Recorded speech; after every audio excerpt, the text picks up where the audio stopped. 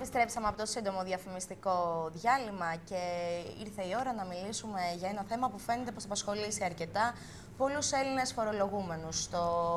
Μιλάμε για τον ενιαίο φόρο ακινήτων. Το ρεπορτάζ έχει η Νικολέτα. Νικολέτα. Έλενα, θέλω να σου κάνω μια ερώτηση. Κόπεδο έχεις; Όχι. Κάποιο σπίτι έχεις; Κάτι έχουμε. Μήπως έχεις βοσκότοπο. Όχι ακόμα. Καλά, άκου τι θα σου πω. Από την 1η Ιανουαρίου λοιπόν του 2014 θα υποβληθεί όλη η έκταση της Ελλάδας σε ενιαίο φόρο ακινήτων και συνεπώς θα φορολογηθούν κτίσματα, οικόπεδα, δασικές εκτάσεις, καλλιέργειες, ακόμα και βοσκότοποι. Για τα μυστικά του φόρου ακινήτων και ποιοι θα είναι κερδισμένοι και ποιοι όχι, θα μας μιλήσει ο οικονομολόγος και φοροτεχνικός κύριος Χρήστος Τσαγκάρης. Κύριε Τσαγκάρη, καλή σας ημέρα. Καλημέρα κύριε Τσαγκάρη. Καλημέρα, καλημέρα. Σας ευχαριστούμε πάρα πολύ που αποδεχτήκατε την πρόσκλησή μας. Θα ήθελα λιγάκι να μου πείτε ποιοι βγαίνουν κερδισμένοι και ποιοι όχι και ποια είναι τα μυστικά της υπόθεσης αυτής. Κοιτάξτε, δεν νομίζω ότι υπάρχουν κερδισμένοι, γιατί το ζητούμενο είναι ε, να μαζευτούν 3,5 με 4 δισεκατομμύρια ευρώ από τη φορολογία ακινήτων. Αυτό για να επιτευχθεί φέτος, ε, να θυμίσουμε στους ακροατές μας,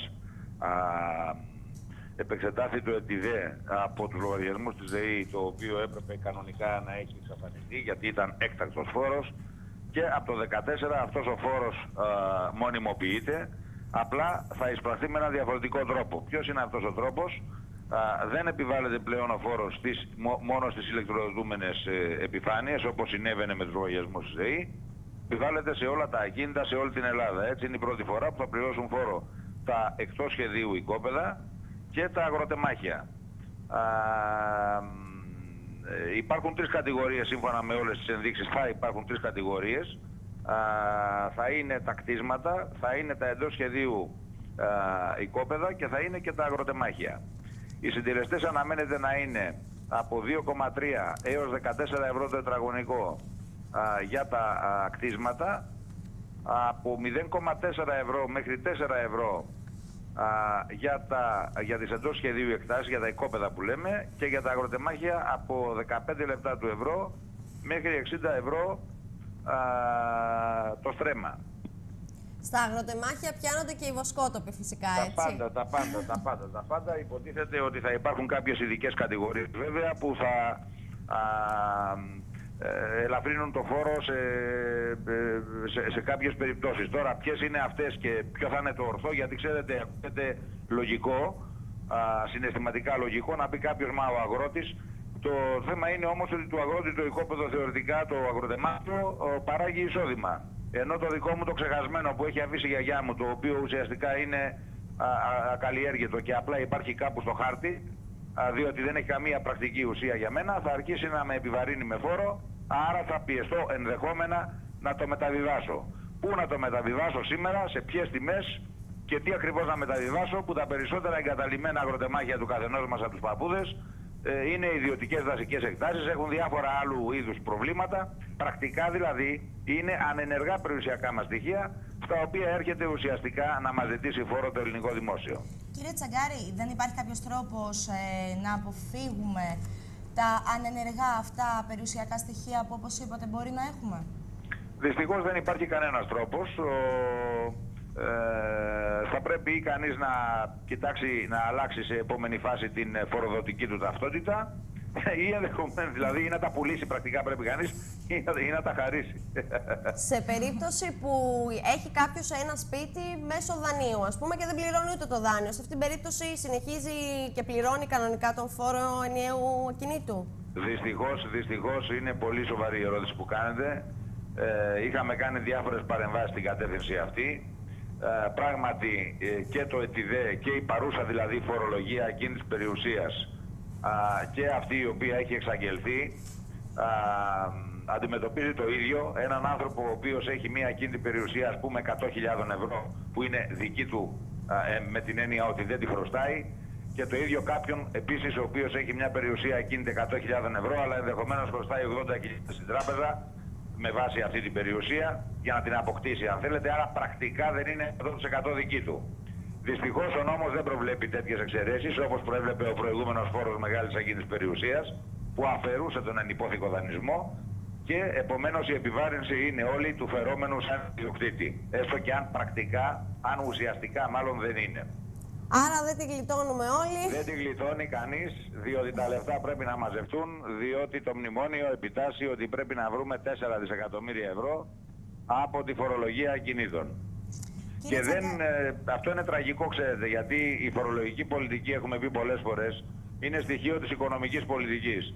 Δεν έχουν ληφθεί οι, οι, οι υπόψη οι επιπτώσεις που θα έχουν ούτε στην αγορά, ούτε στις τιμές των ακινήτων, ούτε στην απομόγλευση της ε, περιουσίας του καθενός, ούτε και στην πορεία που μπορεί να έχει αυτή η ιστορία όλη σε μια οικοδομή σταματημένη, σε ένα κατασκευαστικό τομέα ο οποίος υποφέρει και δεν παράγει και φορολογικά έσοδα για το δημόσιο, αλλά ούτε καν έσοδα για τους ασχολούμενους στον χώρο αυτό και επομένως είναι απρόβλεπτες οι εξελίξεις για το μέλλον σε ό,τι αφορά την πραγματική οικονομία θέλω να πω, μέσα από αυτή την υπερφορολόγηση. Άρα κύριε Τσαγκάρη έχουμε μια αγορά που ουσιαστικά δεν κινείται, και άτυχους ιδιοκτήτες οποιοδήποτε ακίνητου ή χώρου. Ακόμα και βοσκότοπο συνεχίζω και λέω. Έχετε δίκιο. Έχουμε πει ότι η φορολογική πολιτική σήμερα είτε λόγω τεκμηρίων, είτε λόγω ακίνητης περιουσία, είτε λόγω φόρων πολυτελείας με αναδρομική ισχύ σε αυτοκίνητα που έχουν αγοραστεί σε προγενέστερη χρονική περίοδο. Έχει δυστυχώς χαρακτηριστικά η ελληνική φορολογία, α, θα έλεγα, αρπακτικού χαρακτήρα. Ε, συγχωρήστε μου τη λέξη, αλλά αυτή είναι η πραγματικότητα. Λοιπόν, ε, υπάρχει ανάγκη συλλογής εσόδων. Δεν έχει καταπολεμηθεί υποτιθέμενη φοροδιαφυγή. Λέω υποτιθέμενη γιατί τέσσερα χρόνια την ψάχνουμε και δεν την έχουμε βρει. Άρα αρχίζει να γίνεται μια υπόθεση. Λοιπόν, και προσπαθούμε με τα τεκμήρια και με αντικειμενικούς φόρου που, που επιβάλλουμε όχι σε έσοδα, αλλά σε στοιχεία κατοχής. Όπως είναι το γεγονός ότι εγώ είχα αγοράσει κάποτε ένα αυτοκίνητο, το οποίο είναι γνωστό στο ελληνικό δημόσιο. Είχα αγοράσει κάποτε ή έχω κληρονομήσει ακίνητη περιουσία. Έστω και αν αυτή δεν αποφέρει έσοδα, επιβάλλονται φόροι. Είναι λίγο πρωτότυπη η λογική και σίγουρα θα φέρει παρενέργειες στην ε, πραγματική οικονομία. Κύριε Τσαγκάρη, να σας ευχαριστήσουμε. Ε, κύριε Τσαγκάρη, πριν με κλείσετε, θα ήθελα να σας κάνω μία ερώτηση, μια και σας έχουμε στην γραμμή. Θα ήθελα να μας πείτε τι ισχύει για τους ε, 400.000 ιδιοκτήτες των αυθαιρέτων, τακτοποιημένων και μη; Κοιτάξτε, αυτή είναι λίγο άτυχη και είναι και αδικημένη με την εξής έννοια. Ε, Δυστυχώς η, η ελληνική πραγματικότητα περιελάμβανε και αφαίρετα αυτοί λοιπόν οι οποίοι είχαν αυθαιρετήσει εκλήθησαν από την ελληνική πολιτεία να νομοποιήσουν το αυθαίρετο. Στην αρχή θυμίζω τους είχε δοθεί και μία υπόσχεση ότι θα γίνει η τακτοποίηση να πληρώσουν τα παράβολα και τα πρόστιμα και δεν θα επιβαρυνθούν. Με συγχωρείτε. Ναι, ναι, ναι. Λέω σωστά, λέγεται του τακτοποιημένους χώρους. Δηλαδή, οι ναι, ναι.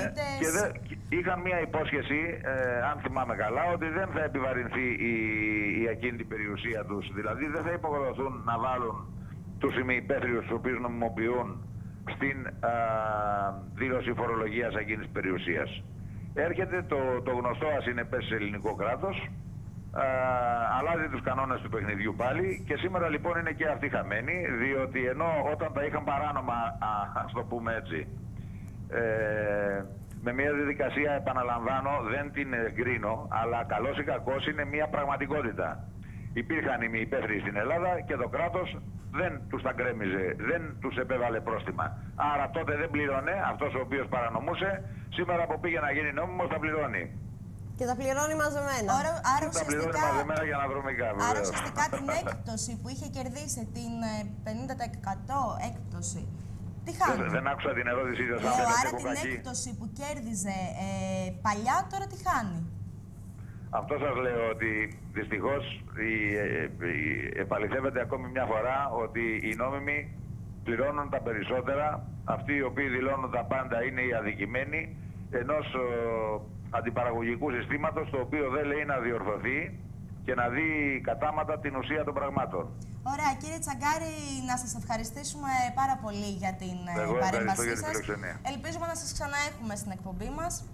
Ευχαριστώ, ευχαριστώ. Λοιπόν, καλή, καλή, καλή εβδομάδα. Να είστε καλά επίσης.